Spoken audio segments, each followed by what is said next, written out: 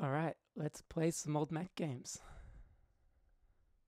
So, uh, I thought I'd start with Mac Paint, which, of course, is not a game; it's a paint program. But if you if you look at Mac gaming history, uh, there's a pretty decent argument you can make that everything starts at Mac Paint. Uh, it it kind of defined a lot about what Mac gaming would be, uh, and it, it, it created the aesthetic. It uh, defined how user interfaces would work. Uh, and if you talk to people who were making games on the Mac right at the beginning, it's the thing that they that they all describe as critical. Um, so if you've read if you've read the uh, second chapter of my book, uh, 1984 chapter, uh, you, you you'll get some of the quotes from from a few of the people who talked about that stuff, uh, and I'm going to look at their games very soon. But first, I just wanted to take a moment to to look at the original Mac Paint, show off how its interface looks, and if you if you think about uh, games now, even I think there's an element here that you can see. Uh, the most obvious one being SimCity. Now, Will Wright originally was creating SimCity on the on the Commodore 64, but he he took his whole interface from the the way Mac Paint worked. If you if you well, I'll pull up SimCity shortly, but when you look at the game, it's basically Mac Paint for city building. I am not going to beat that Cairo shootout high score of 257,602 points. But I will be playing the game. Uh, so yeah, Mac Paint was was a huge deal, and uh, it inspired SimCity, which I'll look at in just a moment. First, I want to show you something. I drew in a different version of Mac Paint. Some of you might recognize this as being an awful lot like a certain planet in the game Cosmic Osmo. Uh, it's my it's my own version of it. I, I made this to be my business card. uh, so um, I basically cut it off about here, I think, on my business card, and I put it through some some shading and things. And I specifically wanted to draw something in Mac Paint because it's it's a huge part of what I'm doing uh, with my with my career, trying to document these fantastic old Mac games. And uh, at some point, maybe we'll get to Cosmic Osmo, and and you'll be able to see uh, the difference. But this took this took ages to draw. Uh, I drew this about five years ago, I think, and uh, I had the other image as a reference point, but I I went off on my own in places. Like the original didn't have a door here. Uh, I tried to capture the, the same whimsy that I found in the game.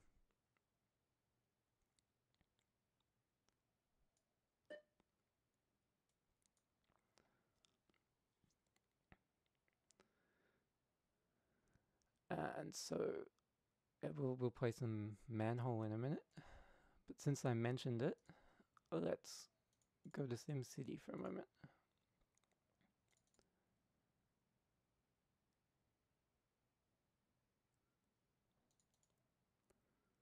All right, version 1.4, okay.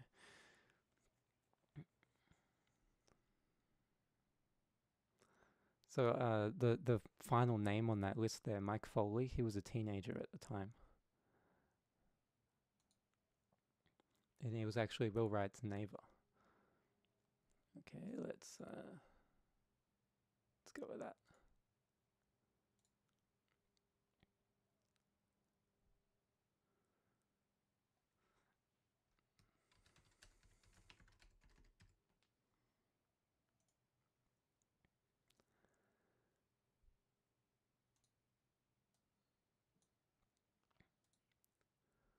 And so if you look here, you, you have basically Mac Paint, except the tool palette builds you a city. So you can build some power lines, park. Should probably start with a power plant.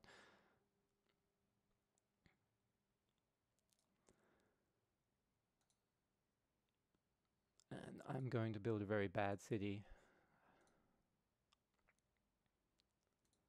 Dump some stuff down here and there. Lay down some roads.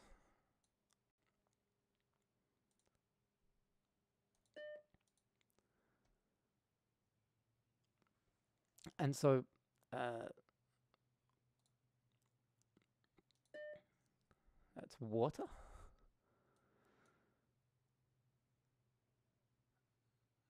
That dark shady bit, that's water. This is like just regular terrain, and then you got trees here.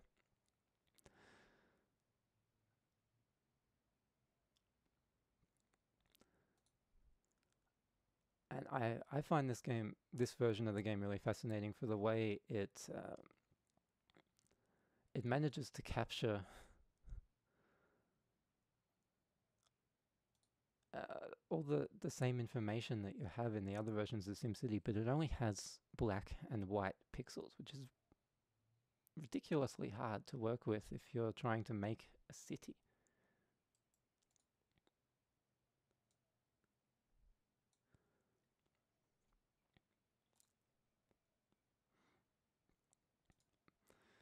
And yeah, I'd agree with the comment from the chat that SimCity 2000 handled zoning a lot better. The neat thing that you can do with the tiles is you can delete individual blocks of it. So you don't have to destroy the entire thing. You can actually delete specific corners and make them rebuild it. And if you're quick, you can pop down another thing right there that overlaps that corner. Uh, th- there's a fan- there's a fantastic book that I read a couple of years ago. Um, I think it's called the SimCity Planning Commission Handbook or something like that. It's a it's a book from around the time SimCity came out, uh, written by I think Johnny Wilson. Um,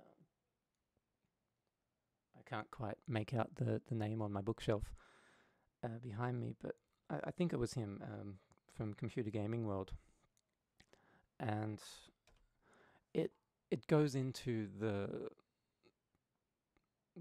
the urban planning theory uh, that underlies the game and uh, looks at different ideas and, and how uh, they how they can be executed. So you have things like if you look at radial city design, uh, which is very big in Europe, uh, it, it gives you tips on how you might want to build your own version of it and see how it, it works in in the game simulation, which is not very well. Uh, the game is modeling a very specific kind of simulation uh, of you know, cities that are built in grids. And uh, on that note, there's actually some really funny um, shortcomings in the simulation because he had so Will Wright had so little memory to work with that he uh, he had to come up with various tricks to make the game work, and so it's not actually running uh, the simulation like in real time continuously. It's it's running it in sort of ticks, um, and that there are some funny um, glitches or exploits you can use rather uh, you only need to have one PowerPoint power plant that is connected to the grid. Um, I learned this from Chaim Gingold, who's uh, studied the game's source code for a PhD. He, I think, has a, a book eventually coming out about it. So you've got one power plant here. If I then go and build another power plant somewhere else, say, all the way down here, I'm benefiting from that extra power in my main grid up here, even though that's not connected to anything. And you got the same kind of, of weird things going on with the, the roads and the rail.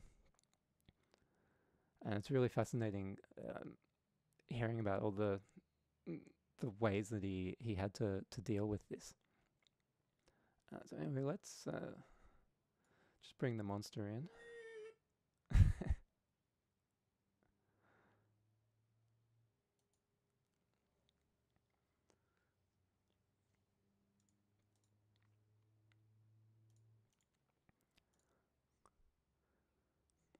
I don't remember much about my early experiences with SimCity because I was I was a very young child at the time, but I do know this was one of my earlier games.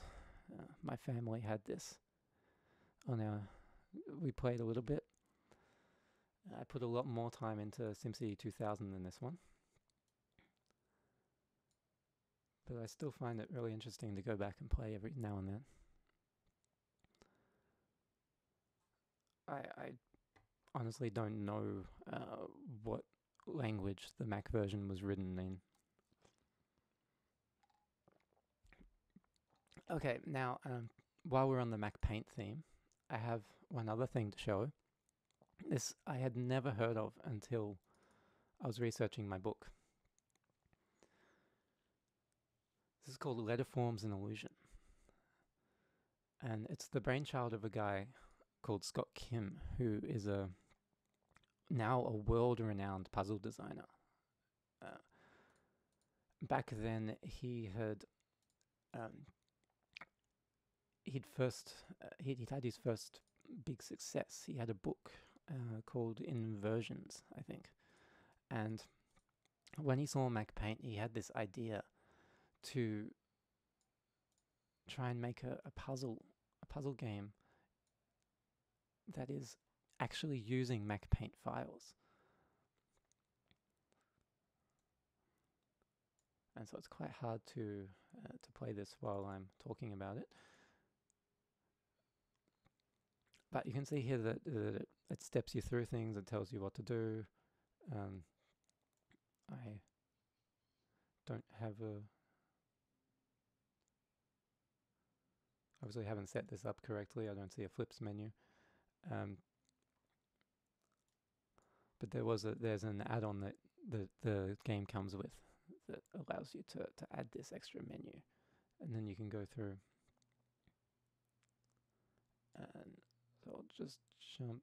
So it teaches you how to play. Each, I suppose, a level in the game is a different Mac Paint file.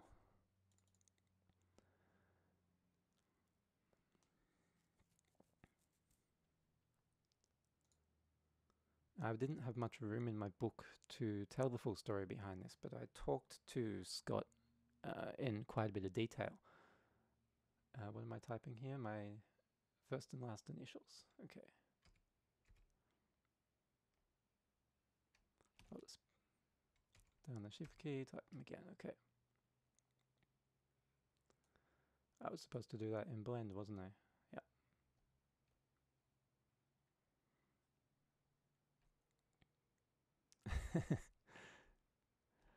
and now what do I do? So letters pile up in the same places if printed on ov overlapping sheets of clear plastic. Only has capital letters, spacebar advances the cursor, shift key reverses and white, and delete key erases the last character. Yeah, thought that might happen. So blend positive. Now we see some cool stuff here.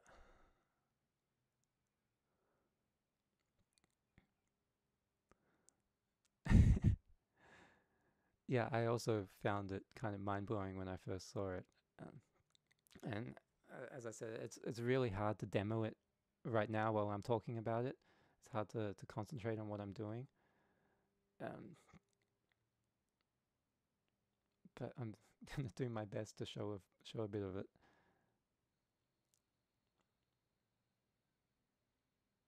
Okay, so I'm in Blend font. Type two letters. So the first one um not getting anything here. Okay. V So that's what happened when I had an F and then I typed VI.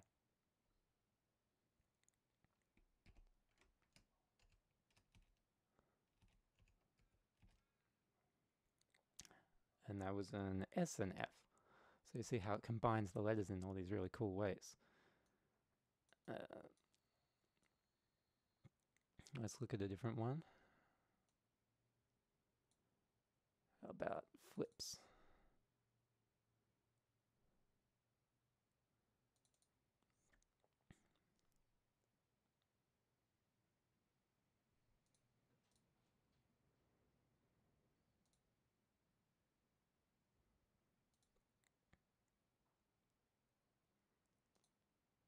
Hang on a moment, I'm uh,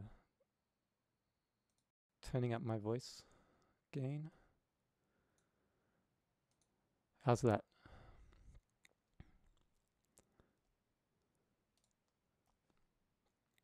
Okay, following screen contains puzzles that challenge you to flip shapes in your imagination.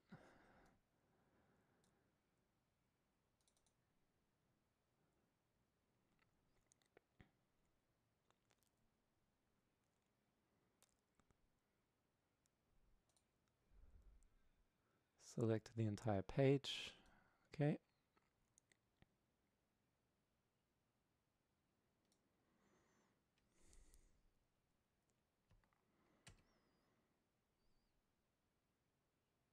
Uh, don't think that quite worked the way it was supposed to.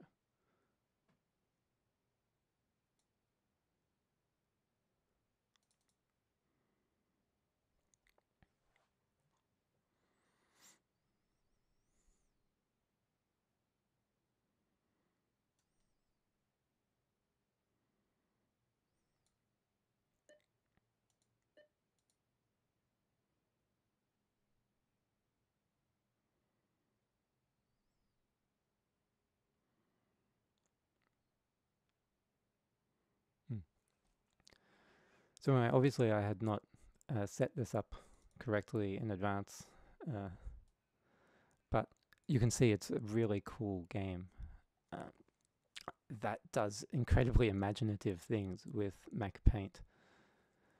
And I think uh, Scott Kim and uh, the what's the name of the other guy? Robin Fay Samuelson. They worked on this for three years or so before they they finally got it released. I have no idea how well it's sold, but I think it's one of the the most interesting early Mac games, uh, and I love that you could make a game out of another program.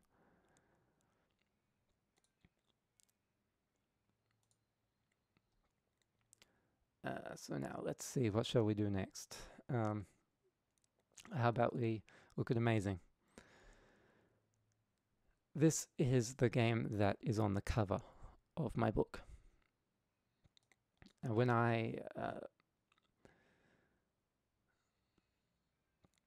when I was talking to Unbound about the book, uh, they did ask me if I had any thoughts on what I wanted the cover to be, and I my brief was basically that I wanted it to uh, have a feeling of the old Mac days, but I had no idea beyond that, uh, really. I didn't want it to just be a screenshot of something. And I, I just kind of hoped that they could come up with something interesting. And then they came back to me with the cover that had this on it, and I I was just blown away. Amazing is one of the earliest Mac games. It was made by a guy called Steve Capps, who created the Finder. And it, he originally made it on the Xerox Alto. There we go. I guess this version the music doesn't work.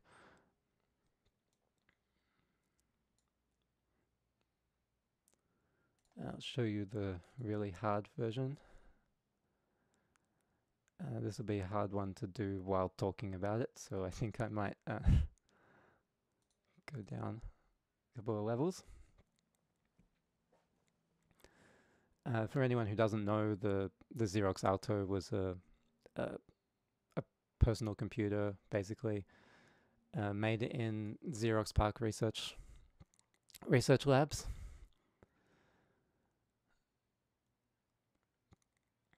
And uh, Steve Capps worked at Xerox PARC for a while, and so he made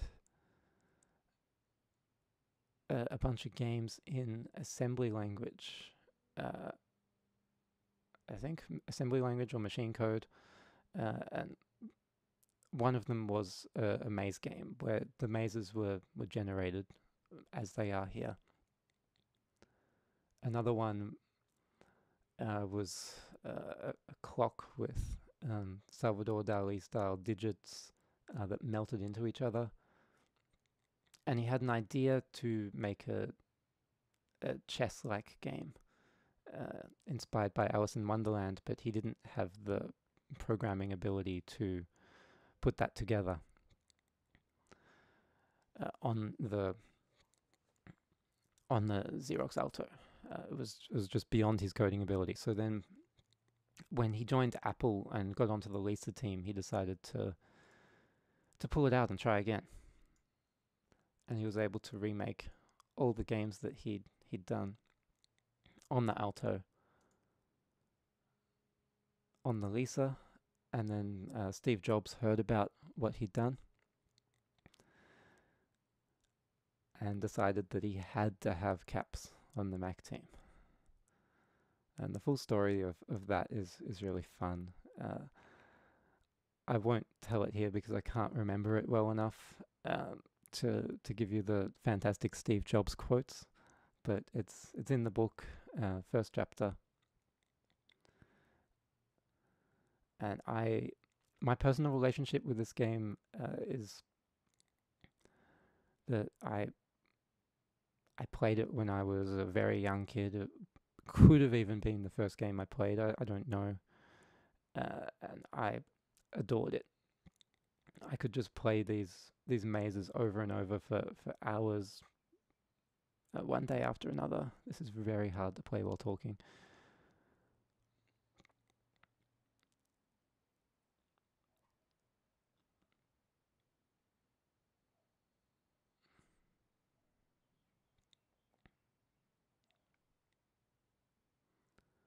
All right. Well, I think we've we've been you've got the point here. We've been looking at this for a while, so that's how to get there. Okay. Let's move on to something else.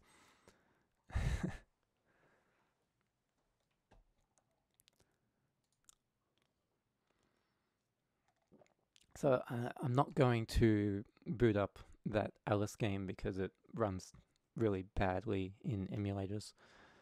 Uh, but you can look it up on YouTube. It's really interesting. Um, uh, while we're on the subject of really old games, I'll just quickly show you a couple of other games that were built inside Apple.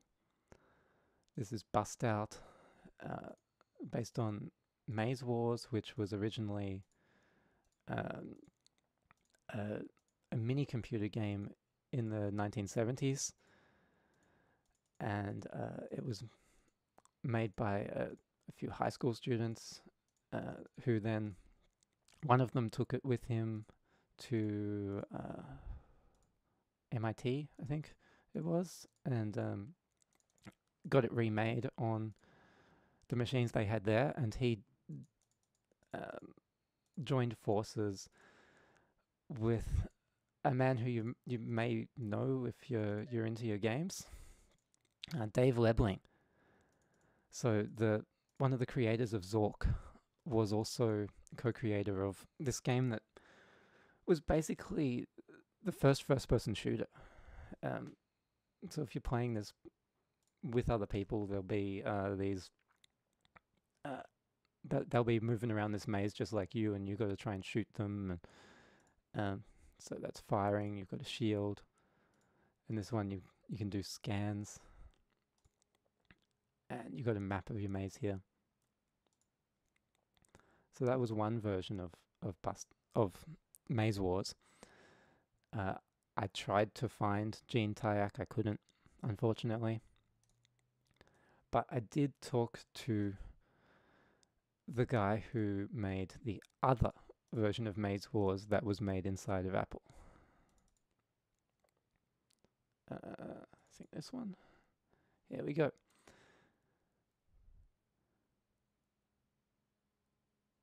So there's a spelling error there, but this eye graphic was drawn by Susan Kare. Car, how, how do you say your name? Um, the person who made the Macintosh uh, icons and just the whole look of the Mac. She she was in charge of the graphic design, and she contributed the eyeballs for this. Okay, I'm I'm seeing care in the thing. So you can see he took a, a different approach. He was inspired directly by the the version that was released on the um, Xerox computers in the 1980s. And uh, I don't know if I can remember how to play. Um, I'm tapping keys. Okay, that one does something. Probably should have looked. Okay, so we've got kind of random key selection here. Uh, I'm using the R key to go forward. That's G that I press to turn then.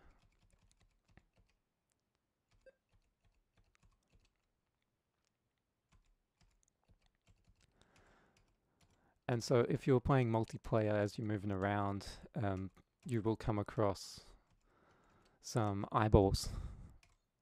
Some very, very cool looking eyeballs. And you can shoot them. And right here is some kind of teleporter. Yeah. Now if I can... Okay. I thought that might happen.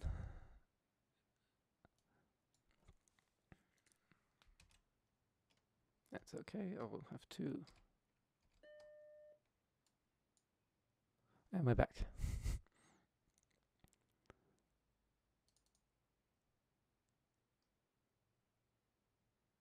there you go, there's the eyeball graphic. Including a nice little tail for when you're coming up behind them.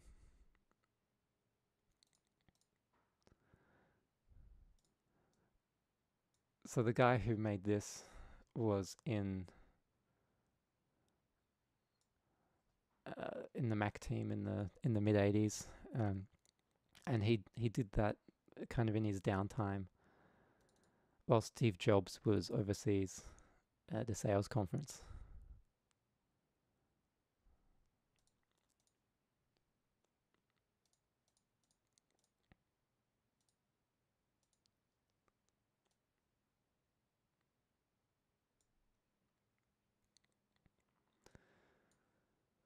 And there's a fun story involving those two versions of Maze Wars uh, that that I was also able to get into the book, where um, when uh, the AppleTalk protocol was was first announced, uh, the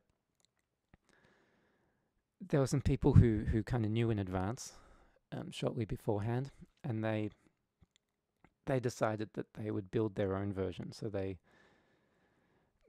they pulled together uh, a box of of various components that they just kind of made themselves, and they they tested it and it worked, so they made a whole bunch of them.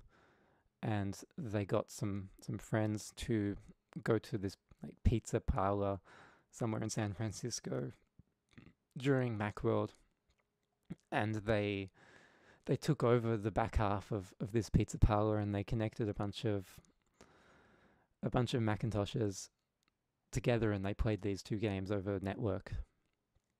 So it's possibly the first uh, LAN party. Uh, they called it a net party back then. And I think the pizza parlor didn't mind because they're buying lots of pizza and drinks and things. Now, uh, any requests for what I open up next?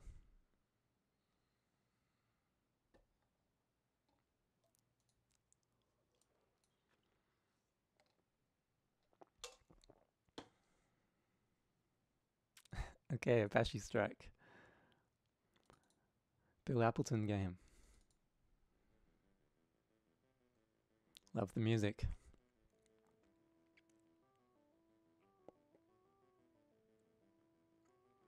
That MSP 87 you see down here, that's Mark Stephen Pierce, the artist from Dark Castle.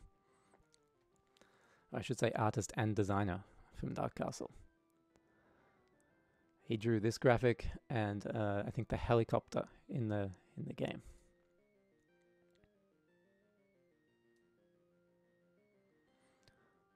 And so Bill Appleton is the guy who made.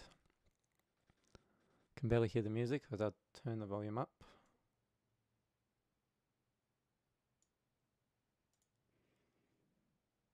Is that a bit better?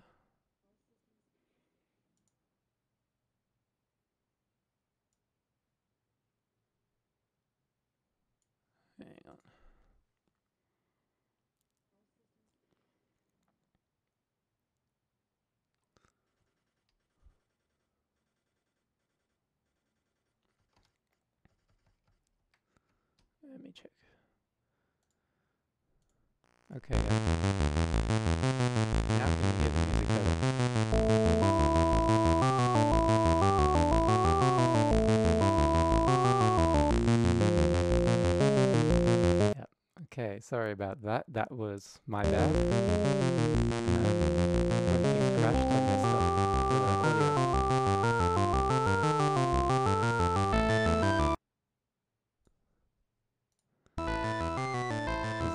Let's go down a bit further. How's that? Is that a good balance? Or turn it down a bit more?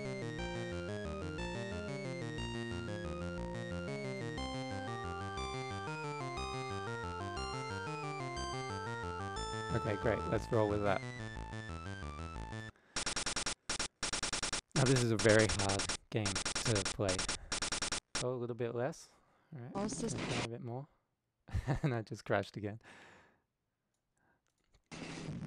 So you control this with the mouse. All systems. Uh, and am I running fast? Yeah. All systems. It's really difficult.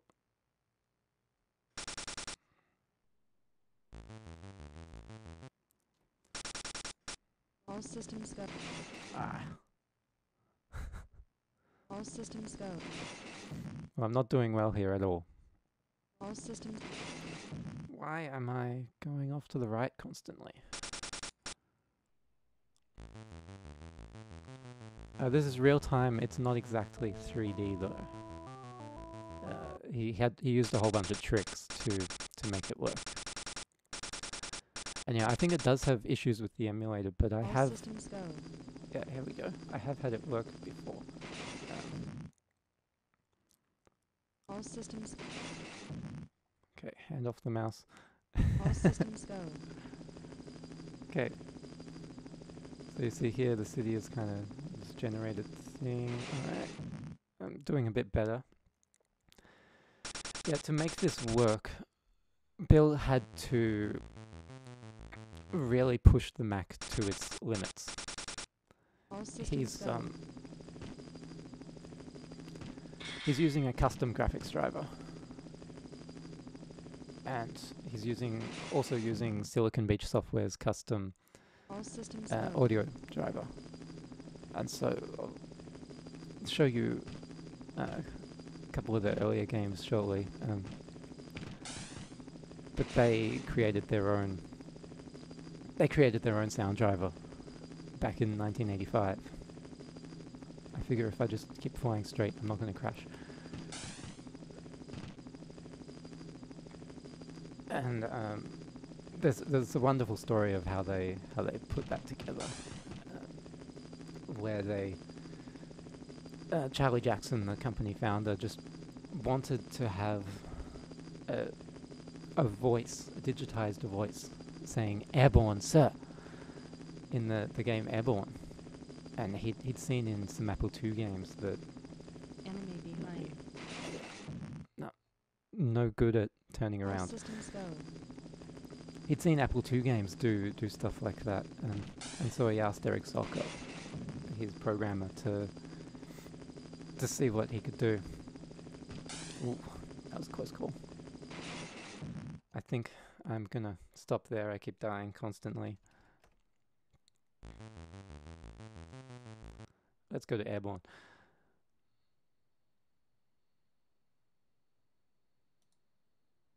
So Apache Strikes, great game. I highly recommend that you check it out, but maybe don't play it in the standard version of Mini VMAC.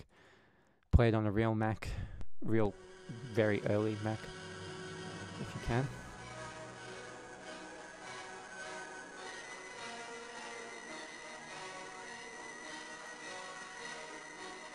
So this is how Airborne starts.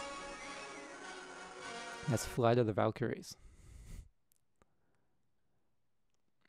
and they made it. They made the game right at the end of 1984. Um, debuted it at MacWorld in January 1985, and so just imagine going to a computer convention in in January 1985, and you walk down down the ramp to to enter the place, and you hear that on the on the pe- a set of speakers and you go looking for, for where the sound where the sound's coming from, and you see it's coming from an actual Macintosh. this is a time when computers, the sound effects were just beeps and bloops and things like that. Th- these guys, rather than playing sine waves and square waves, they had actual digitized sound samples, which was incredible technology and they had to go through a whole lot of ordeal to to get that thing. Let's uh, pop a demo on while I talk. And they this demo guy is not very good.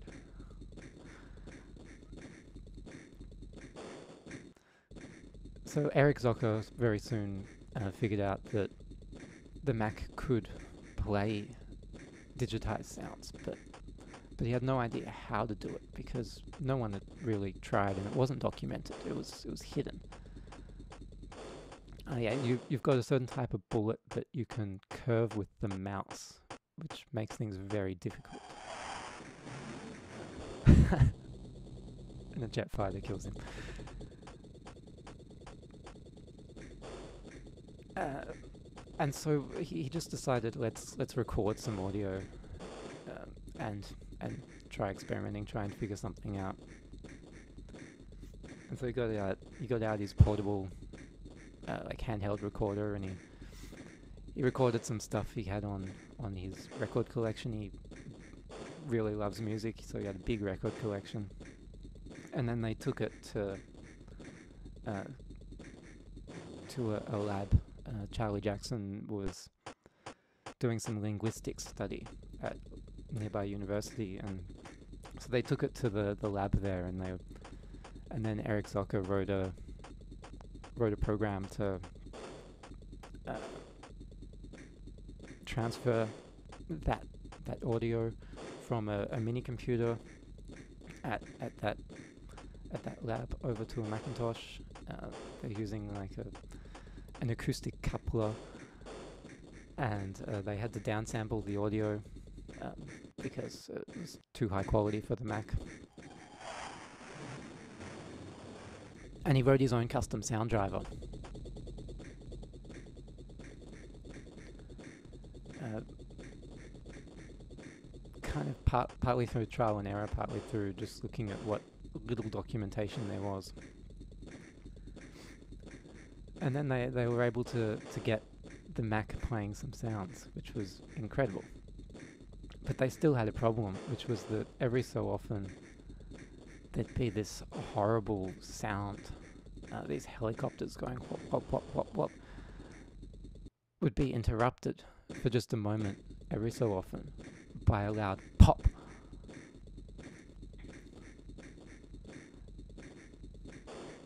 And they couldn't figure out why it was doing it. And so Charlie Jackson remembers the story of this really well, and he he then decided to. Uh, so Eric Zocher asked him to to start going um, one sample of audio at a time, like one one byte of audio at a time in this uh, audio program that Eric had written.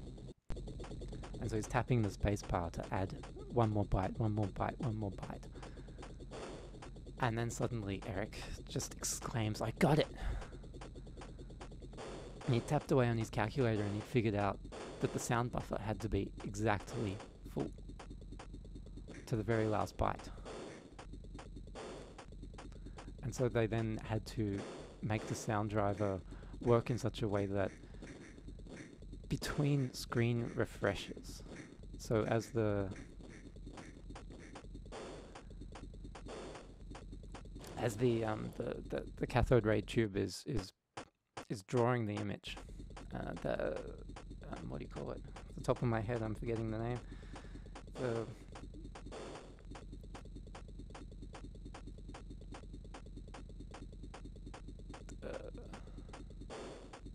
Oh, I can't think of the name of it.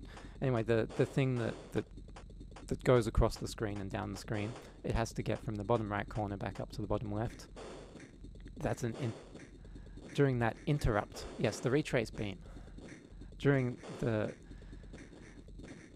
during that period where the the uh, the beam is moving from the bottom right back up to the bottom left to draw the screen all over again, they had to fill the sound buffer. And they had an extra trick, which was that they were able to mix two sounds. So what you're hearing here is, is uh, what often multiple sounds that, that have been mixed together. Um, the, and he'd just do that programmatically. He would look at what's the, the highest priority sound and what's the second highest priority sound, and he'd play he'd mix those two together uh, in the program, send those to the sound buffer, and voila, you have this fantastic digitized sound. That's Eric. Jonathan Gay, the guy who created Flash. Charlie Jackson did the, the design work himself. Stay alive and get the highest score. So here you go, steering. Move the mouse left and right or in an arc to steer the shells. And you can switch between steerable or non-steerable shells.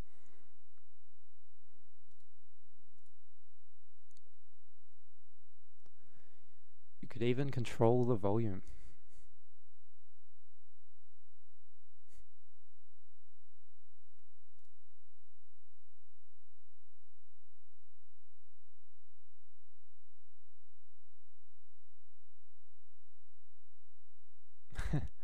And instructions on how to get a brand new list of top 10 scores.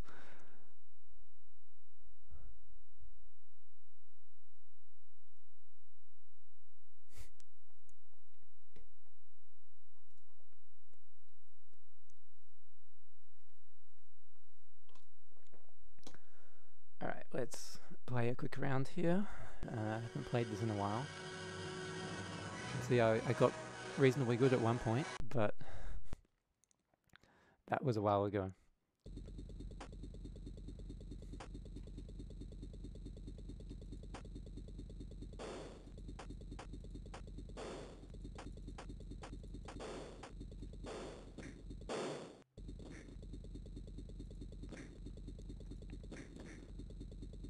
So as I move the mouse, I'm adjusting the, the angles of the guns.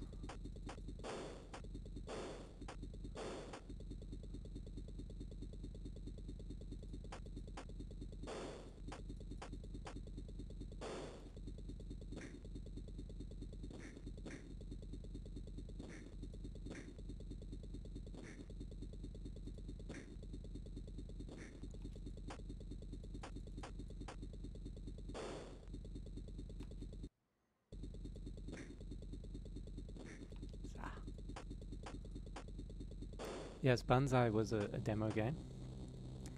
And Banzai is the only one that I played as a kid. So I never I never really knew that Airborne was a thing until many years later.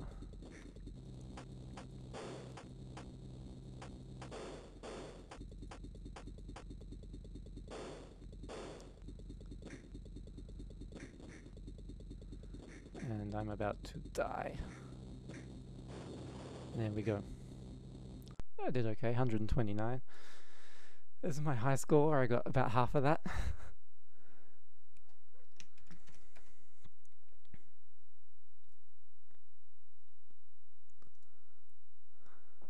so for comparison, let's pop into Banzai.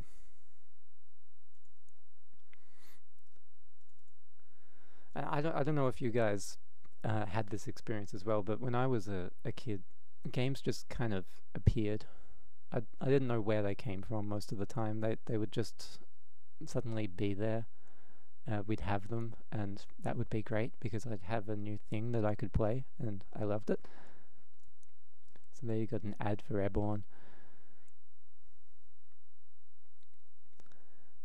And they were in the very beginning shipping copies directly out of Charlie Jackson's house.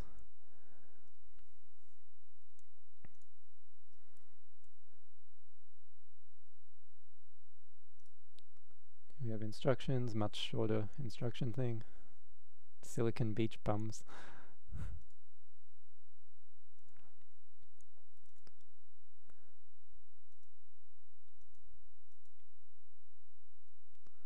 and so you see it's basically the same game, but uh, simpler. And, well, I died really fast. I'm not sure if it's running too fast, maybe. Um,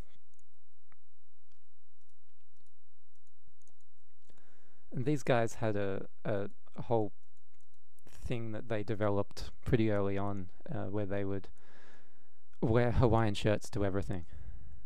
Uh, so the very first Macworld that they went to, they were just dressed as normal people. But then from from then on, everything that they went to, their public appearances, they were all wearing Hawaiian shirts.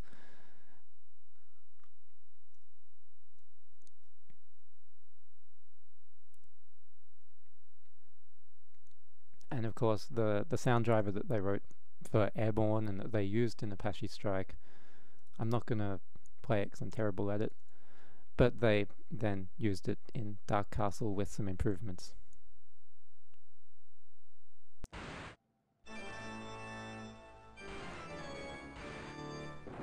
By this point, they were able to compress the sounds, so they were able to fit a lot more sounds onto the disc. I love the the animation and graphics on this. Go and do a quick demo.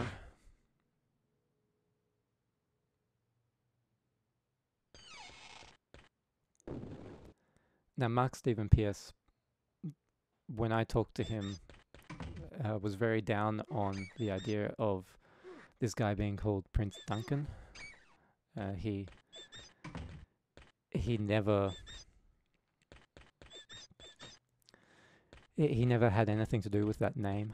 Uh, he he wasn't consulted on it. He he quite hates it. Uh, but it's the name that has stuck. and it was, I believe, created by the the person who did the box.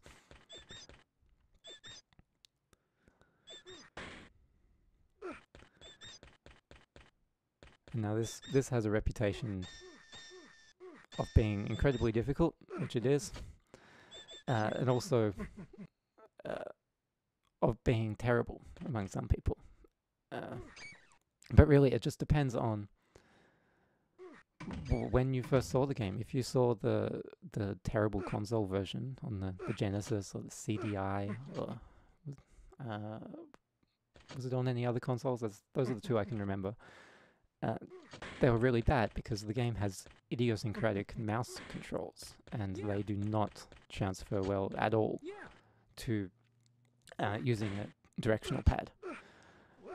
And then also, by the time it got onto those platforms, it was a few years old, and this is like kind of the Dark Souls of its day. It's an incredibly difficult game that uh, does not. Ooh. This demo guy is better than me. Does does not um do much to to help you. Uh, it, it does not allow you to to make mistakes really.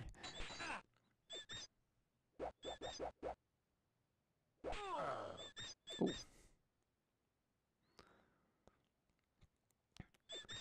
So some of these sound effects were, were done in very creative ways. Uh, you had like a um, a fold-up table.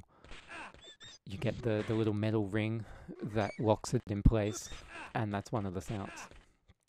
Uh, the guys getting hit with the whip, that's Charlie Jackson doing that sound. All the voice characterizations were done by this guy called Dick Noel, who was uh, a professional uh, voice actor guy. He was involved in a lot of ads. Um, and he did the the voice of Fred Flintstone in the pilot episode. Uh, they they got someone else to do it from from then on, but he did it in the very first one.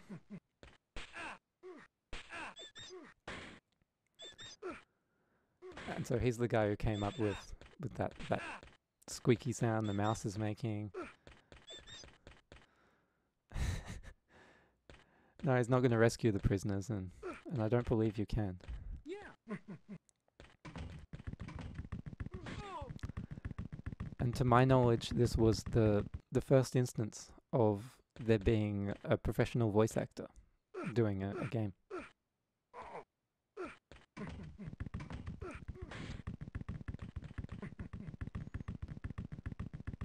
This demo is showing you a lot more of of the game than than I would be able to uh, with my terrible Dark Castle ability.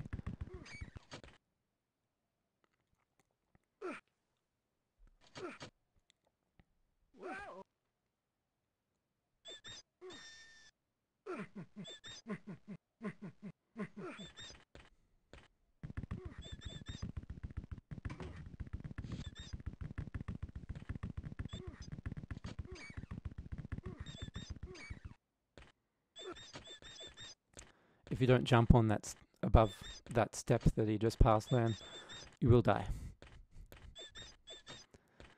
And yeah, mu- you notice the, the MSP down in the bottom right corner. Mark Stephen Pierce at this point in time was signing all of his artwork.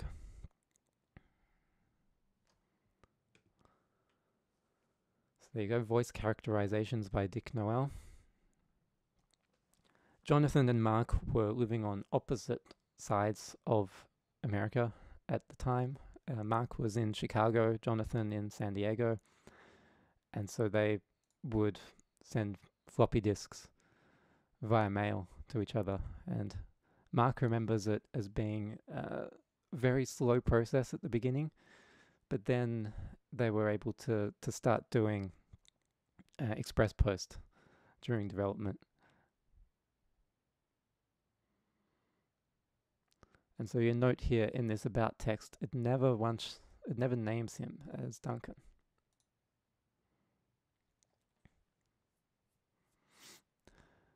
Instead, he is you.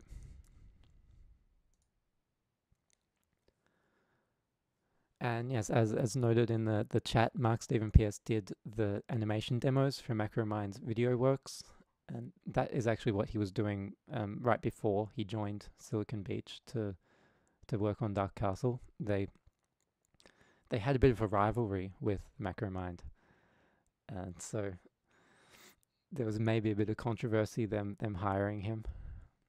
but he had quit Macromind in a in a huff because they uh, they needed some some more funding, and uh, so they got some investment from I think one of the parents of one of these guys, and Mark thought that it was uh, unfair that his share in the company should be diluted by that.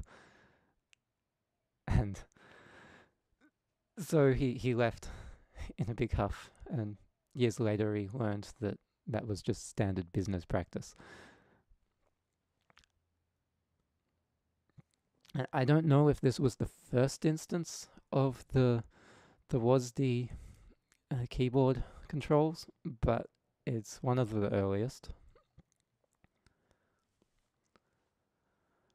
And certainly given Dark Castle's influence, uh, because there were lots of people who were making making games in the 1980s who, who would have played it on the Mac or uh, on Amiga. Uh, given its influence, it possibly would have um, been the game that made that uh, go on the road to becoming standard.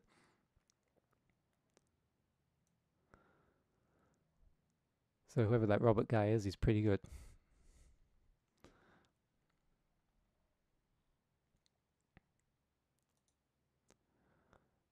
All right, now any requests for what's next?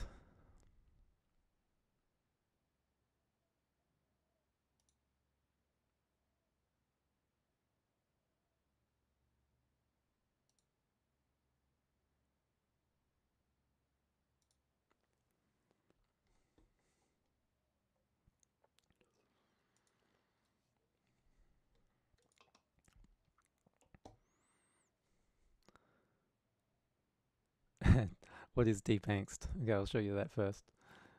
Uh, deep angst is a world builder game.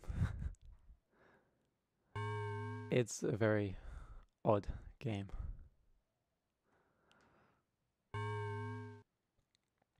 So graphics involve some graphic diddling by the, the guy who made this, but most of it is from Silicon Beach because Silicon Beach released World Builder.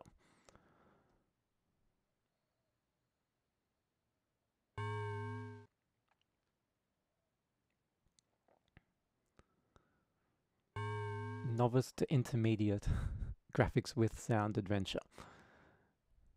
Created as part of a, rev- a review of the program. Uh, I wish that more reviews of uh, game making software would involve the creation of very odd games like this. So, uh, the way to adventure is south. And so I can navigate via different methods. I can go up to the menu here and choose something. I can use the shortcut you see next to it, or I can type it out. So it must have been the anchovies. That vaguely familiar sound, I believe you could probably guess what it's meant to be. So let's see if we can go west. Nope.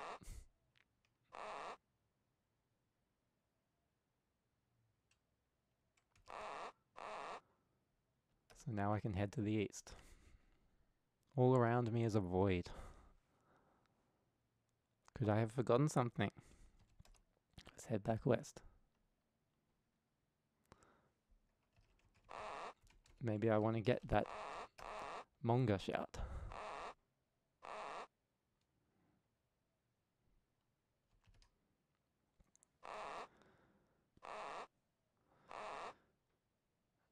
Uh, yeah, I, I, d- I don't know about playing psychotic, um, live on the air. That's a, it's a pretty dark game. Um, I don't know what what age groups are, are watching this thing. No, I haven't played Perarena yet. The maniacal cackle of an incredibly bald Indian. Do I want to see the Scepter Wizard?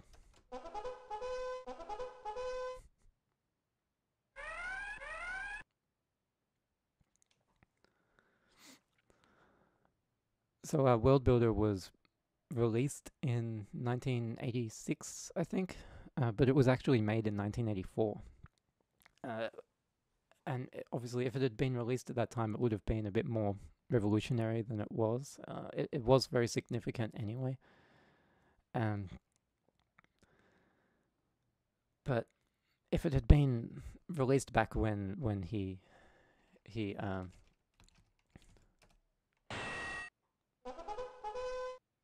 uh, what's that? The sword. Yeah. If he'd released it in 1984 when he originally made it, uh, it would have predated a lot of the games. Can't go north, can't go south, I can go east.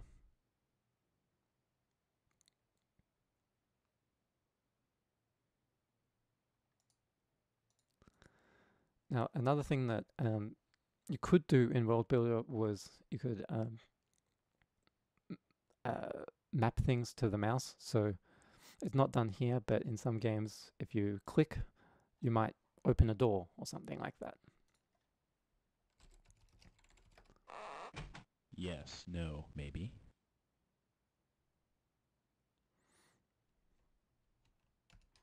Search, nothing unusual. Can't go north.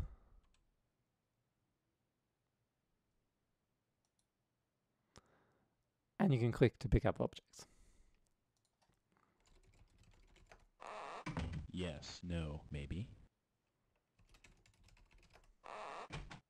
Yes, no, maybe.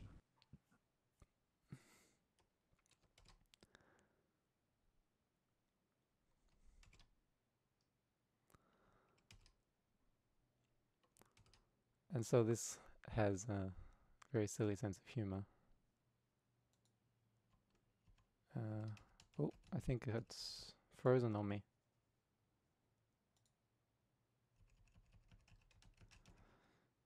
Well, I think our, our adventure in Deep Angst is over. I'm going to have to reboot.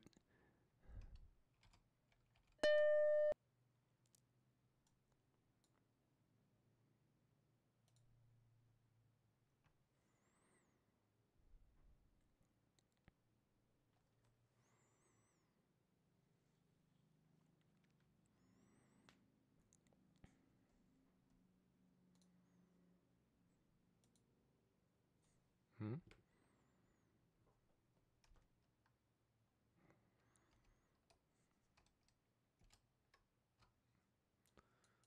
Oh. Mouse is still not responding.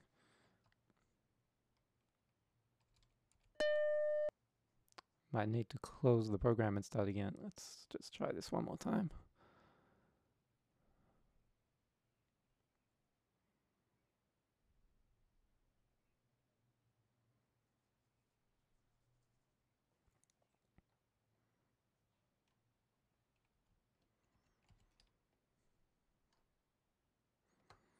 All right, what's the Okay, just quit.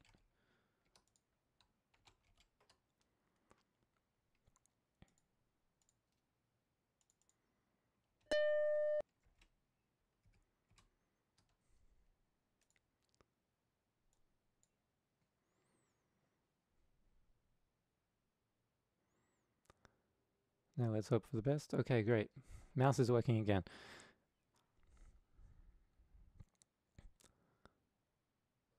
And it's a really cool story about about Ray Dunakin being being awesome in the comments there.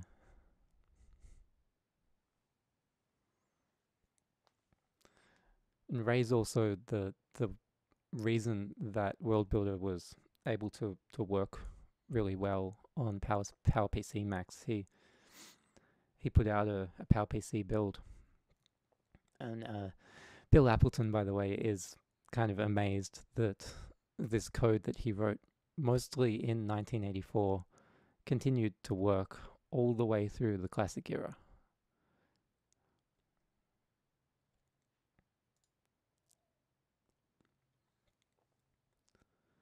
Uh, let's see. Um,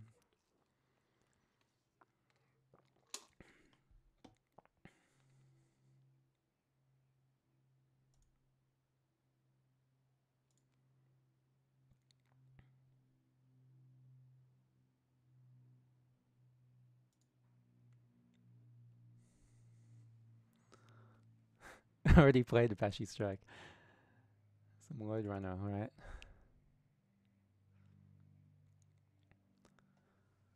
So this was one of the first, one of the very earliest uh, Mac ports, um, and a pretty good one at that.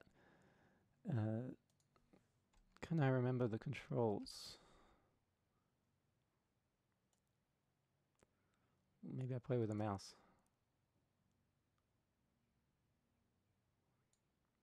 So I'm using a, a pirated edition here, uh, which you can tell by that.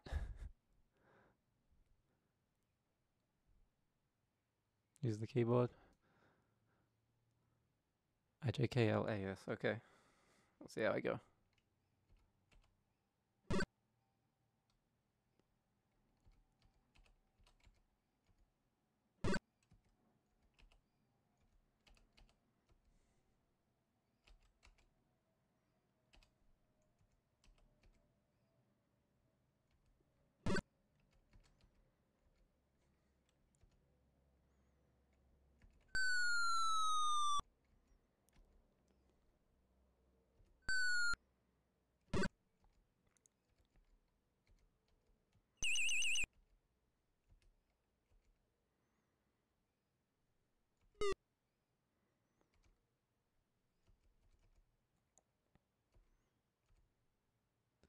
I have not played this version of Lode Runner in a very long time.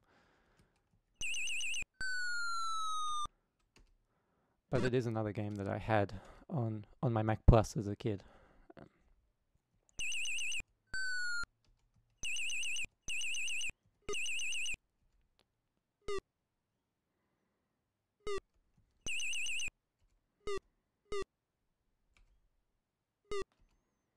Oh damn.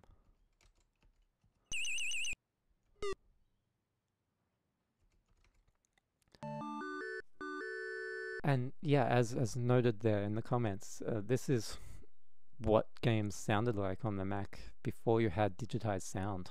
Uh, which is basically just like they, they sounded on everything else.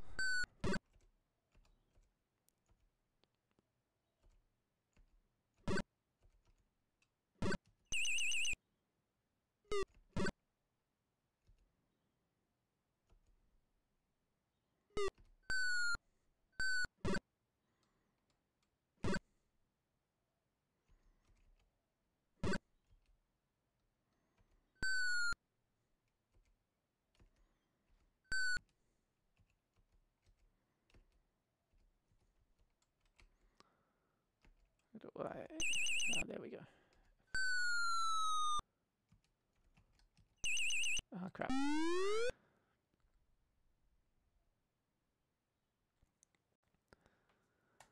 So yeah, that's a Lode Runner.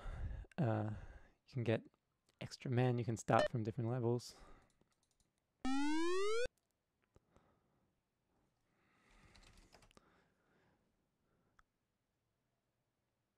Uh, I don't remember how many levels there are.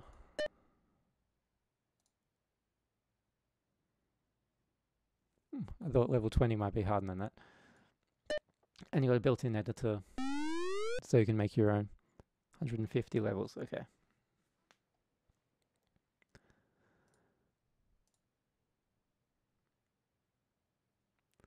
Uh, this actually, I can't remember, was this made in the 1980s? But this is officially Bungie's first game. This is Alex Seropian,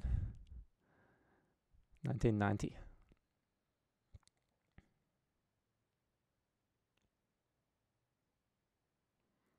Free, but you can pay 15 bucks for source code.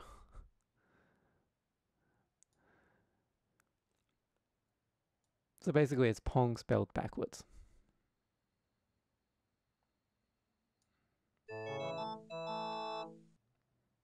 with some sound that he ripped from a different game.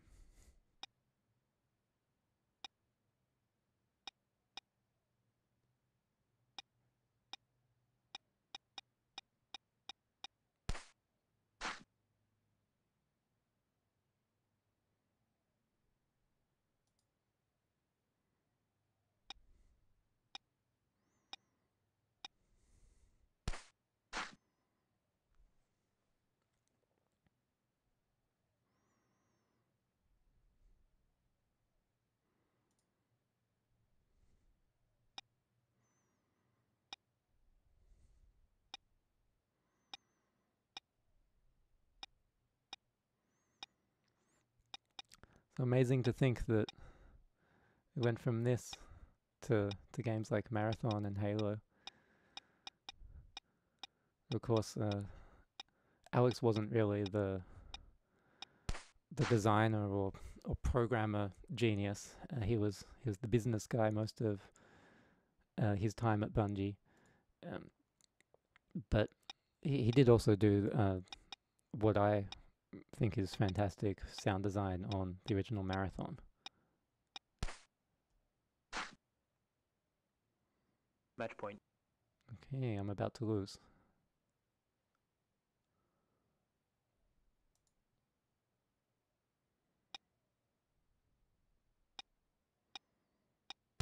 Oh.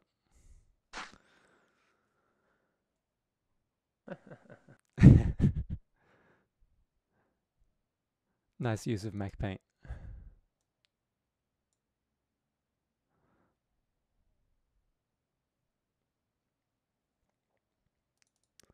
Let's pop into At the Carnival. So Cliff Johnson uh, gets a whole chapter in my book, and he made he made a few Mac games, uh, starting with The Fool's Errand. Uh, but this is the only one that I played when I was a kid. Uh, 180 puzzles. Uh, his other game, his other two Mac games, uh, kind of they're puzzles within puzzles. They're they're meta puzzle games. This one is just a, a collection of puzzles uh, based around the theme of the carnival. And he worked at a carnival when he was uh, when he was a, a young man uh, in high school.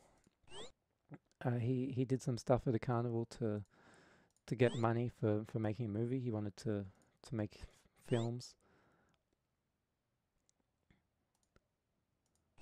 Uh,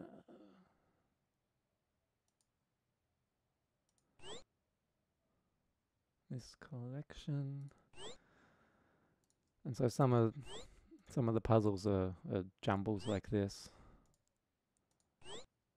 In my late teens.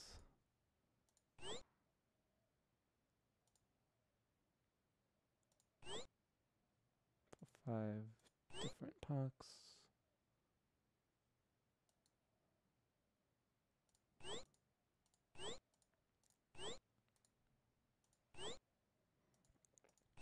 There's also a color version of this. Uh,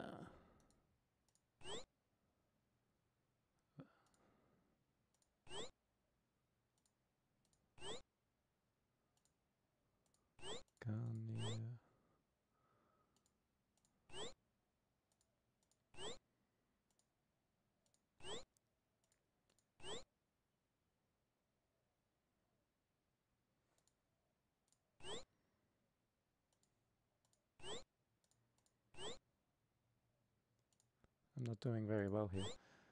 Um, that should go up here.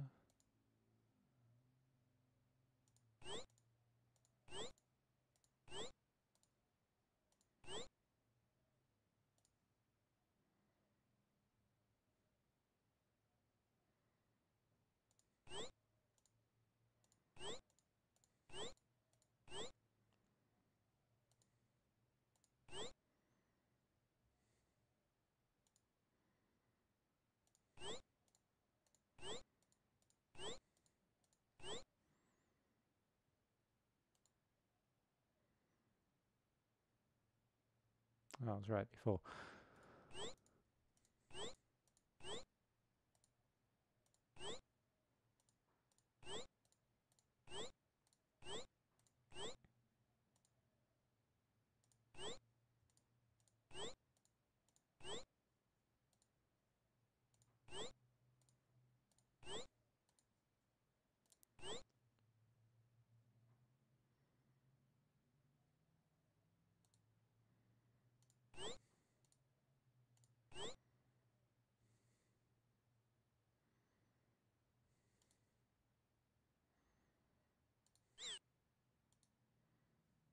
Goes up here.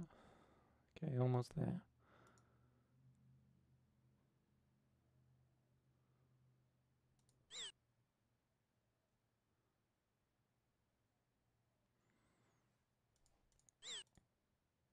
What am I missing? Oh, does this go down the bottom?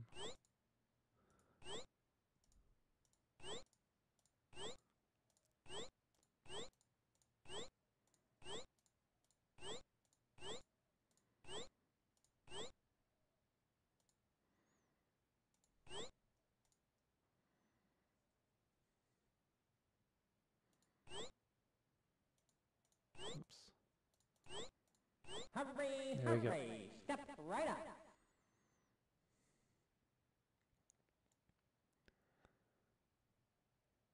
So then you've got all kinds of different puzzles. You have a word jumble.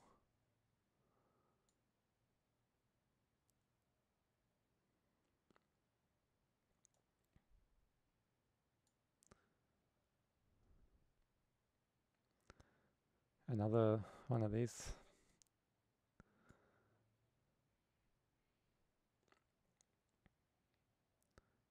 Laugh in the dark. He used this puzzle type a lot. Uh,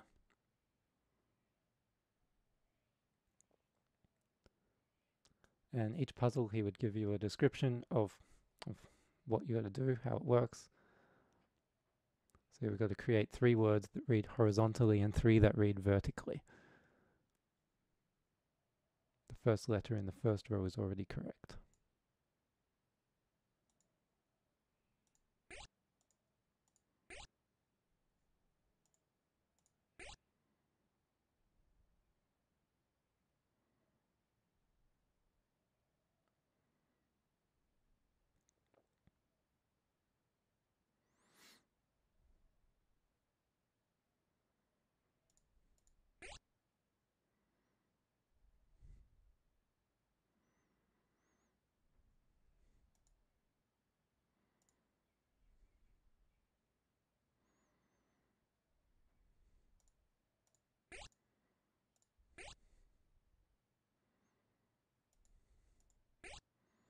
Uh,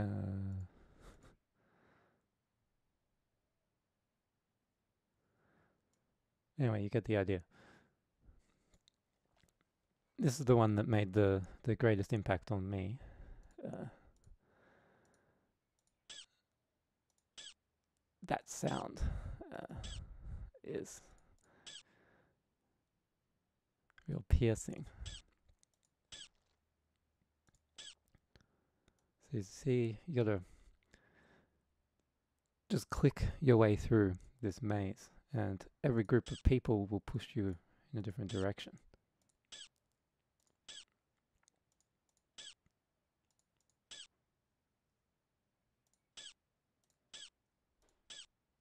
Uh, it's been a while since I played it.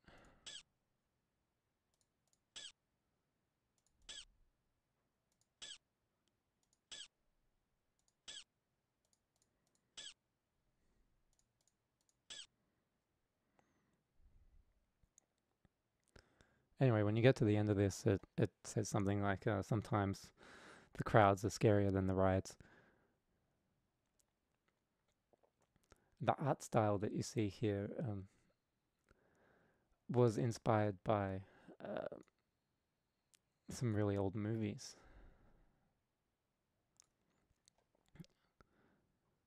So Cliff Johnson was a, a big film geek, uh,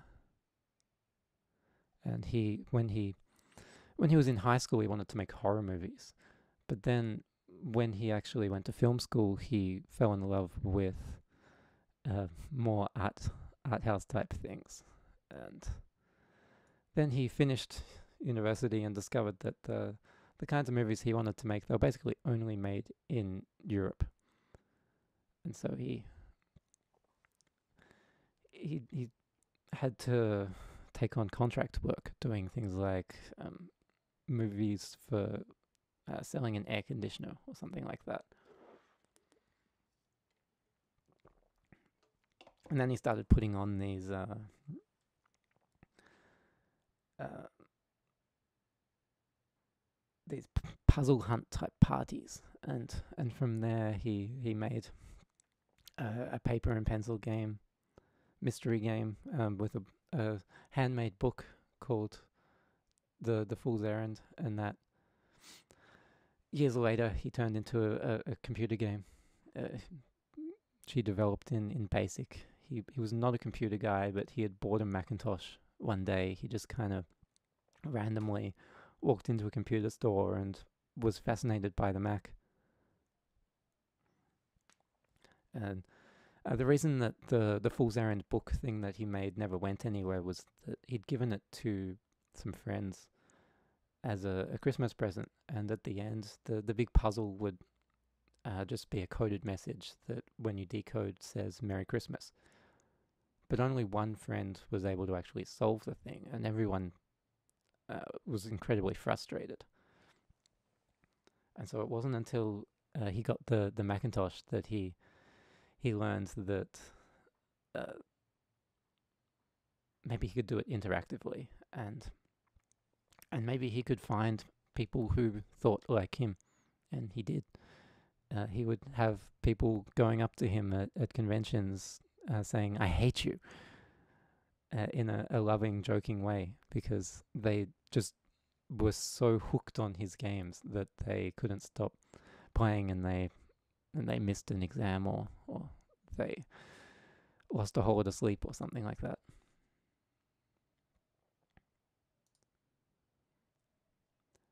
Uh, let's pop into Continuum for a minute. Uh, so this was a, a shareware game, uh, except it was it was not um, distributed as shareware. It was distributed as beerware because the guys who made it they thought shareware was a joke. They had uh, they had signed a deal to get it published commercially, but that, that fell through. And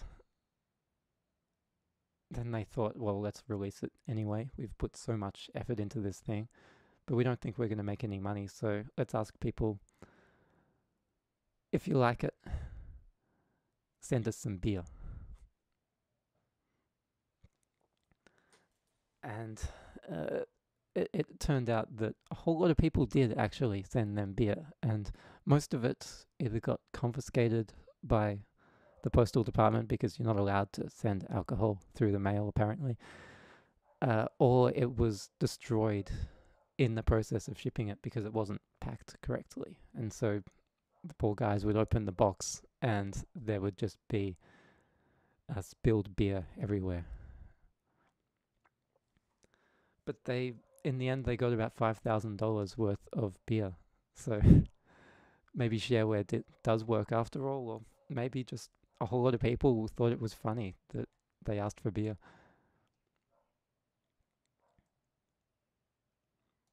So Randy Wilson, uh, as you see, Stanford email address. He just just started uh, doing a, a degree at Stanford, I think, in uh, computer science he was amazed at how popular the game turned out to be. Uh, it got talked about a lot on um, message boards online. Um, now, I cannot remember how to play. I need to look up the instructions.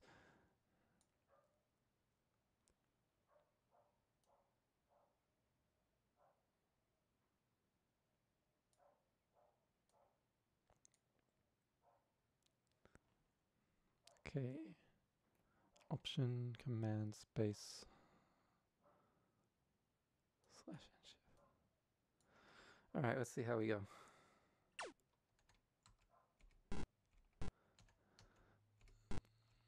So the idea is uh, gravity. So they had originally called this game Gravity Well. And they have uh, different gravity for different planets. Almost got hit. They put an, an enormous amount of effort into making sure that collision detection was as accurate as possible. So they would draw oh shit, they would draw the ship uh, only after they had done all the all the collision detections. And they, the collision detection algorithm would, uh, would be based on. Shit, I'm dead. Uh, if there's something uh, black, if there's a black pixel underneath the ship, so if there's a bullet underneath the ship, and it has to be a specific um, pixel, they had it down to the exact pixel. Then your ship would get destroyed. Some of these walls are, are bouncy, some of them are not. You can see gravity is pulling me in different directions. So on this planet, I'm being pulled to the left.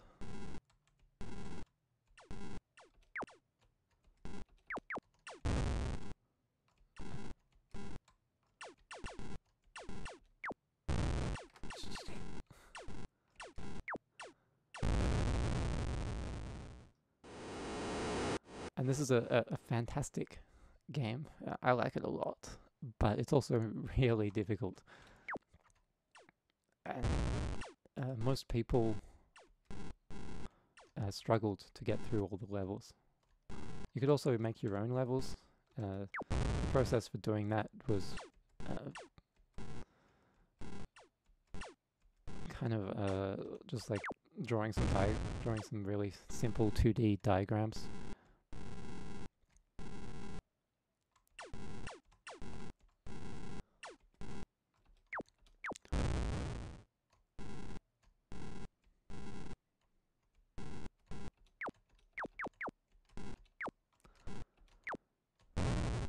This is something that I, I was very pleased to discover when I was working on the book. I, I'd never heard of it until I started researching. And I think actually the person who put me onto it was, of all people, John Romero, the one of the co-creators of, of Doom. So I, I'd emailed him to let him know about my book because he actually did the Apple IIgs ports of a couple of Mac games. So I thought he might be interested. And he said that he he hopes that, that I'm able to, to cover this game because he, he loved it. And so I went and looked it up and, and I thought it sounded fantastic. So I got in touch with Randy and, and his brother Brian and heard about all about how it was made and I looked on looked online and I found that it was quite popular on Usenet. Uh,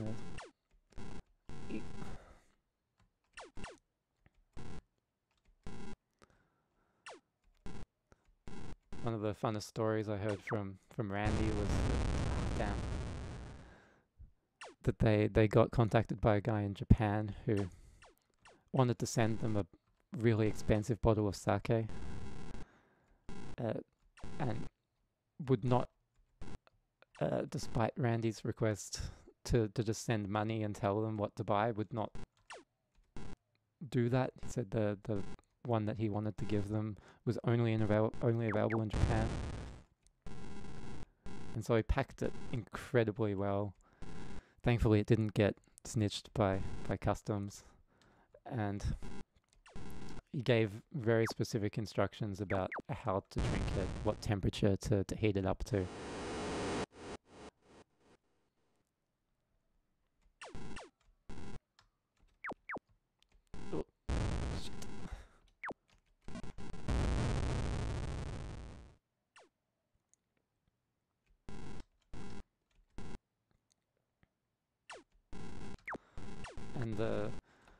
Audio from this game, uh, they had no idea how to do sound.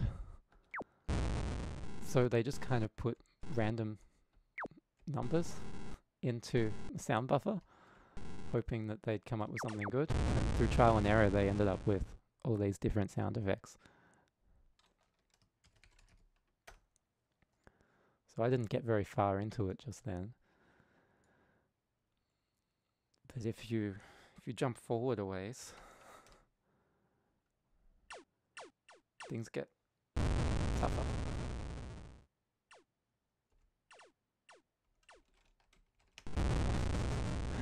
Still getting my hand back on the keyboard. I mean, that's pretty cruel design, having having a cannon shooting right at where you appear in the level.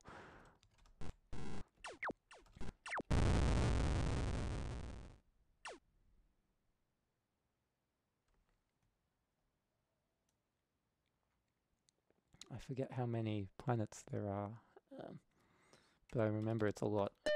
Maybe have 60. Let's go to the last one.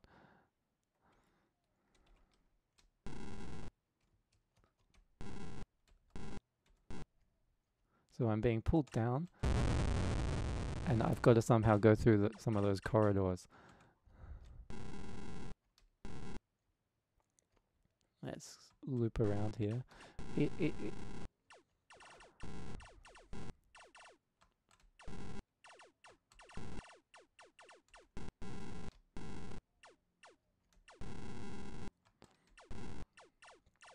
So you can see if you manage to get inside, there's actually quite a lot of space on this level. But getting inside is not so easy.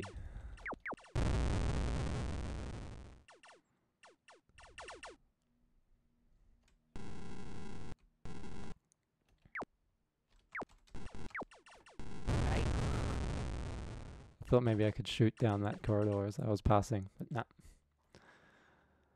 And so that Brian with the high score, I think that's Brian Wilson. Um, this version I downloaded from uh, his website. Avoid the walls, kill things.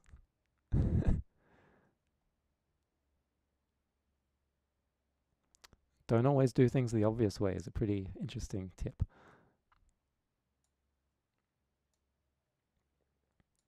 Let's see what the demo plays like.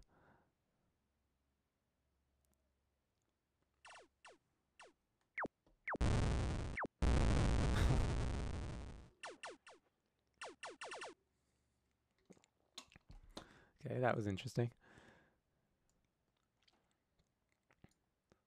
So people could create galaxies, and I happen to have one here that I downloaded from somewhere. So let's have a quick look at that.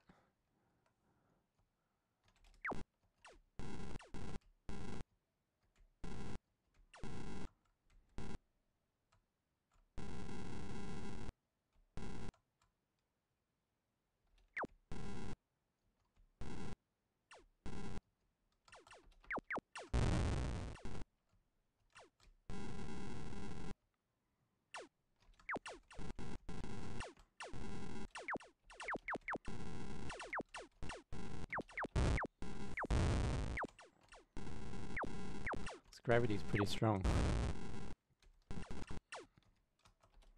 And what is that?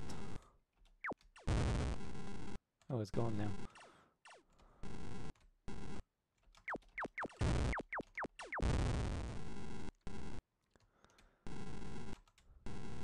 So this was originally developed in, in 1984, uh, although I think, what was it, 1987 it says they released it. Um,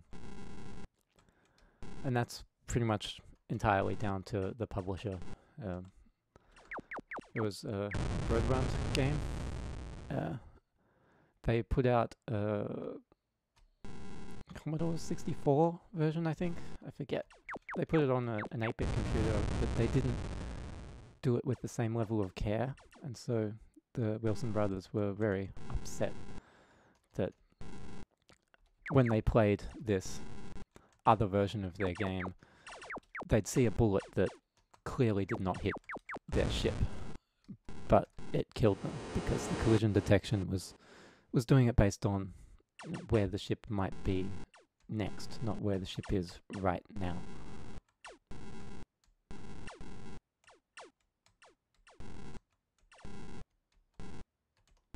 Oh.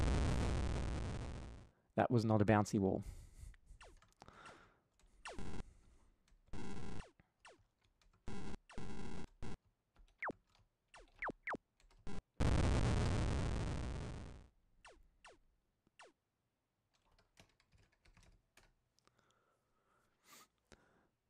So that's that. And now um, I looked at that, didn't I? Yeah.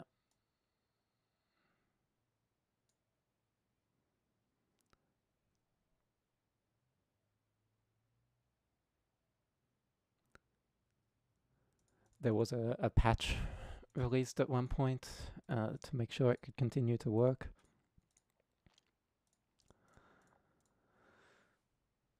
This is what people had to go through in the early days of the Mac to play some games. They had to to really go through some crazy workarounds to to get shareware games in particular to to work properly. If you don't do exactly what you need to do on certain Macs, your Mac will crash, and you could have damage to the data that you have on there. Much safer just to turn off the RAM cache. if you have easy access and you fire five times, you might accidentally turn on sticky keys.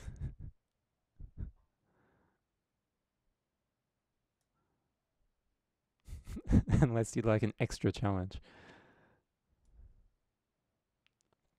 And there it is, Planet Editor. So this is how you you made your levels. You had this editor.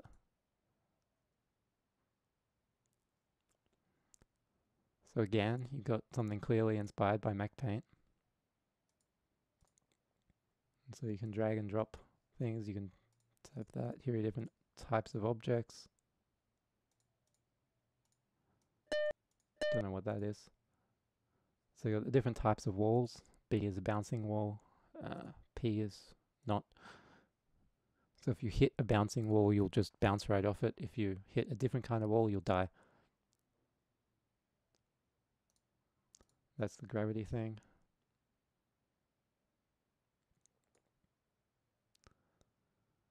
Set the width, the height, firing rate, at bonus. Specify what direction the gravity is pushing you. You can have it set to wrap around. Uh, P is pass through. Okay. Yeah, and then that's the regular wall.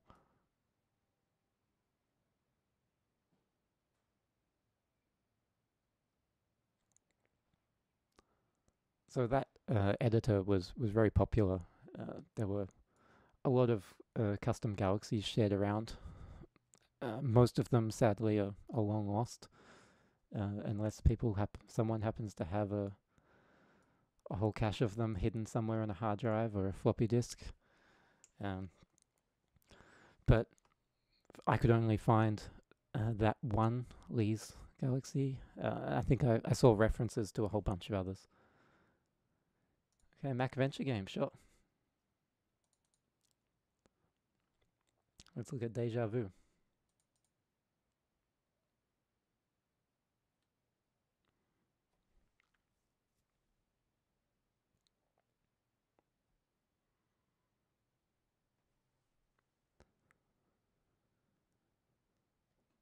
Welcome to a nightmare come true.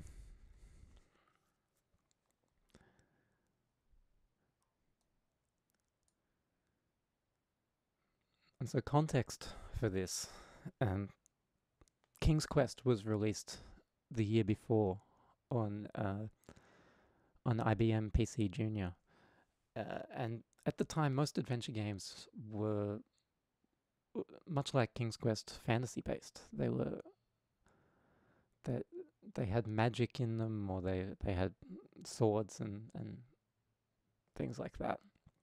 And he had something that was more like a a pulp fiction novel or a film noir.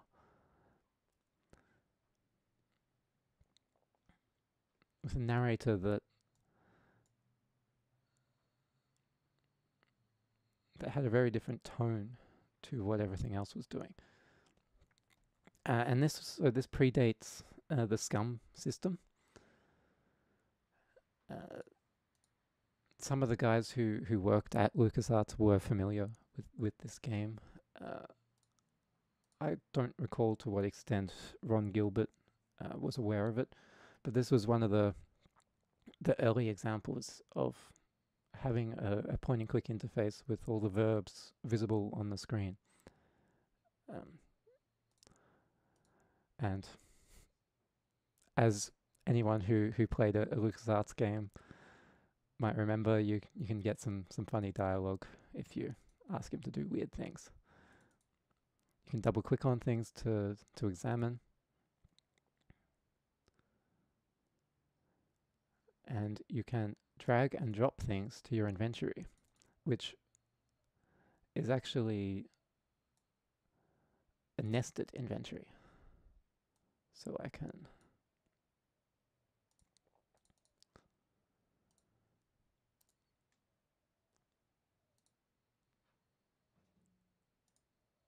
I can open up my gun and look at my bullets. I can open up my jacket and there's another layer. And then there's yet another layer. And this is something that was uh, kind of unheard of, I think. And still now, you, you don't really see this getting done. And maybe that is because it uh, is an unnecessary complication, or maybe it it's just something that people have forgotten is is an interesting thing you could do. Inventory management is is very frustrating sometimes, but you can imagine that maybe uh, you could do interesting things with a nested inventory if you if you really thought about it and tried to come up with a, an interesting design. So I just ate my cigarettes.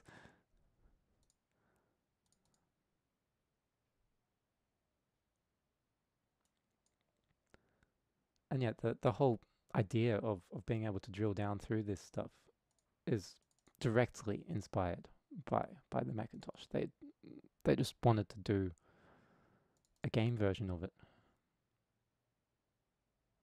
it could also have been used by the Tin Man in The Wizard of Oz. There's the very dry wit of the narrator.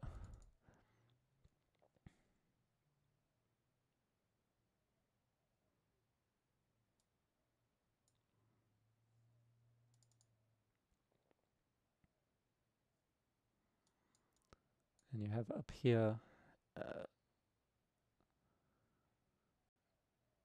when this finishes portraits of the guys.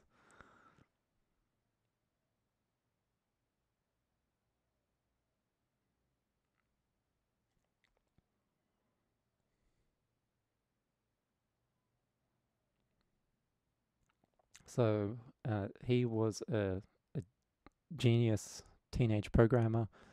Uh, so was Darin Adler.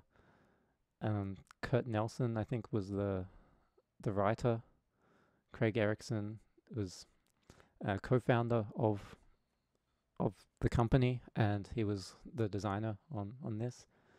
Um, it was kind of his idea to make the game.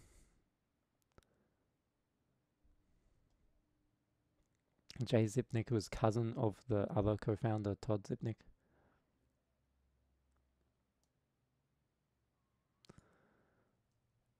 There is an Easter egg hidden in the game somewhere. It's uh, apparently a single pixel. Uh, I've never found it, and uh, Craig didn't tell me when I interviewed him. He just said that there is one somewhere, and he's not sure if anyone's ever found it.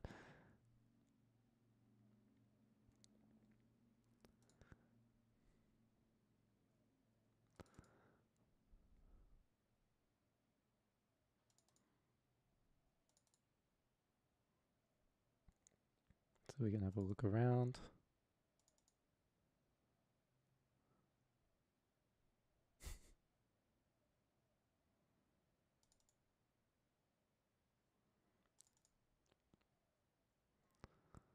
Yes, you can also use verbs on yourself.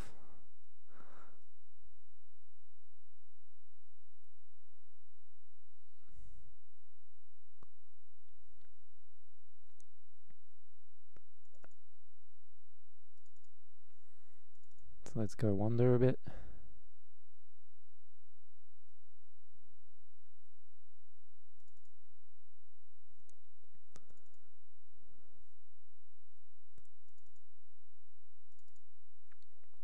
So the idea here is that you need to try and figure out kind of what happened, but then also uh,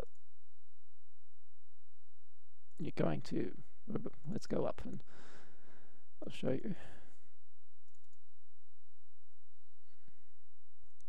You also have to clear your name. It's a typewriter. it looks like a phone.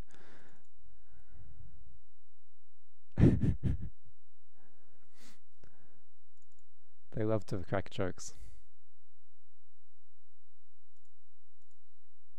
So I can open up the desk and what do we find here? Legal envelope.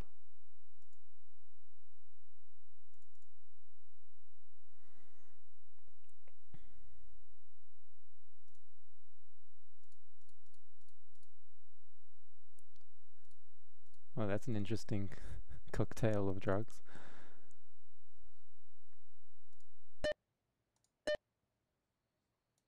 Click to continue. Oh, and there's a clue there.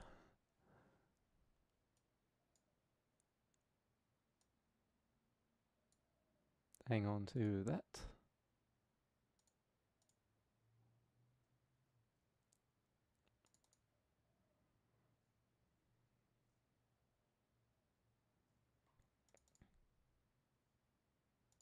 Got some pictures on the wall. It looks like a poster you.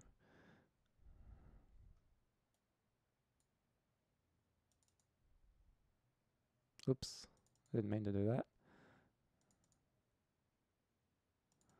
I'm getting a bit turned around. Now if I happen to if I happen to get outside I will kind of get myself dead.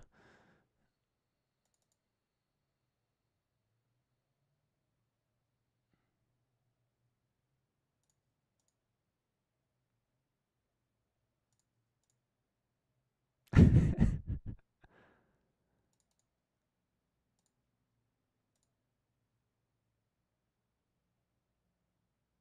no keys here. Um,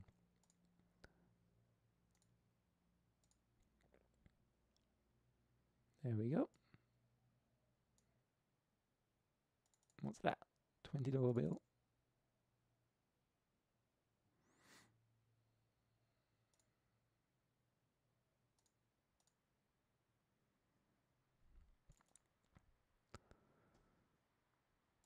Okay, those keys, they open the office, right? Yeah.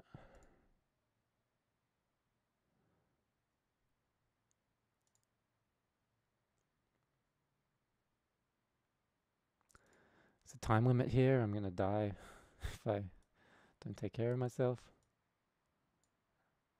Uh, trying to remember how to do this. Open door.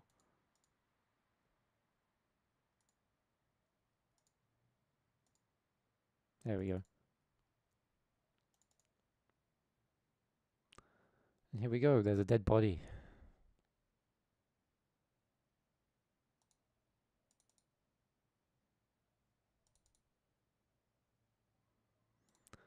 So quite clearly you have been framed.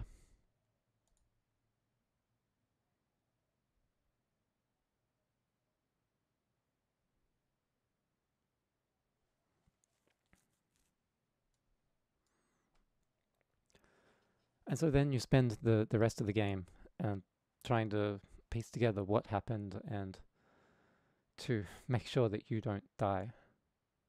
And you, you get all the evidence together and and you're able to, to clear your name in the end if you don't get yourself killed first. And that's Deja Vu. Very important early adventure game. Um, that and Shadowgate got put on the, the Nintendo Entertainment System, and uh, Shadowgate in particular did really well there. Uh, and unfortunately, after they made four MacVentures, that was it. They didn't they didn't make any more. They did work on some more, but they were all cancelled. Uh, let's pop into Glider. So people who have played more recent versions of Glider might be surprised to see that there were originally two different options. You could be a glider or you could be a dart. Controls, okay, and period. John Calhoun was very fond of putting his name in entirely lowercase.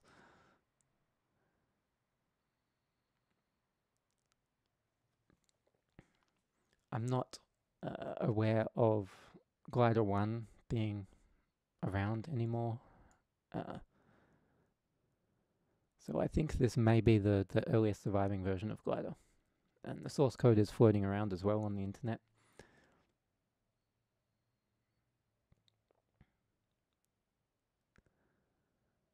Now, John did get uh, quite a lot of letters from people. Um, the money he made from Glider was basically pizza and beer money. It was, it was just a little bit of pocket change. Uh, but he was a college student at the time, so it was great for him that he could go and every Friday night treat his girlfriend to pizza and a coke.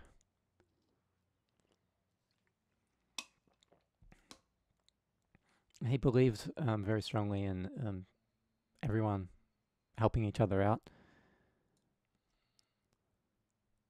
So he tried uh, as much as he could to, to do that. And that is Dorothy, his his logo.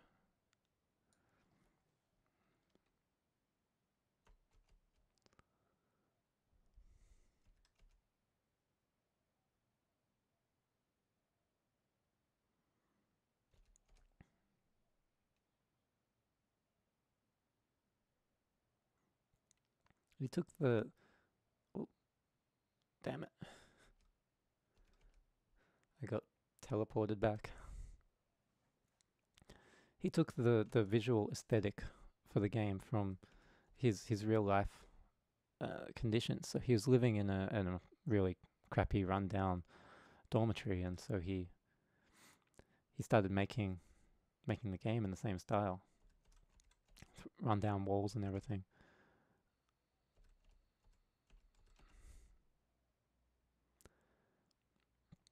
And he made really good use of pattern dithering. So dithering is where you you you use um, patterns of dots to to give the illusion of different colors. So he's used it on the floor here to to give you a dark colored floor, and on the wall he's got a much lighter color. He he made pretty extensive use of it in his color games as well. Um, Glider Four uh, from the early 90s. Uh, he he he would take the the 16 color palette of the Macintosh and he'd dither each of those colors with white to to make more washed out muted colors to to keep the the illusion going of of everything being run down and old. Oh, oh so close. Oops.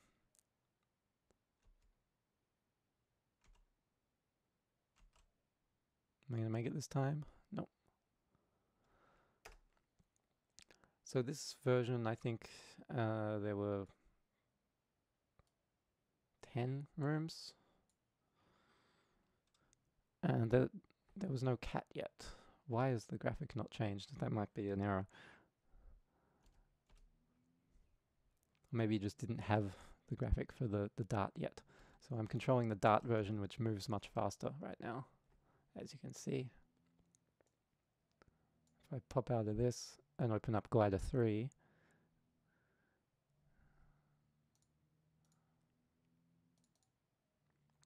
this was the last of the shareware versions. It's getting a bit more professional at this point. That fairy nymph is something he just he found in a book of engravings and he digitized it.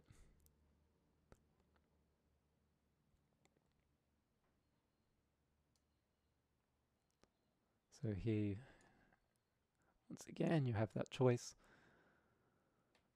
The about screen is the same there. Now he's asking for eight dollars. Or fifteen if you want the source code as well.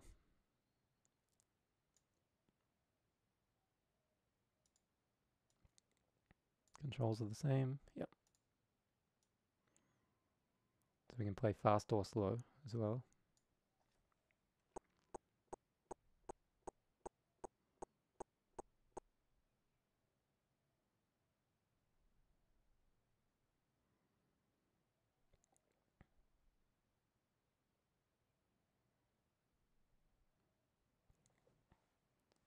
And so as he's learning new programming techniques,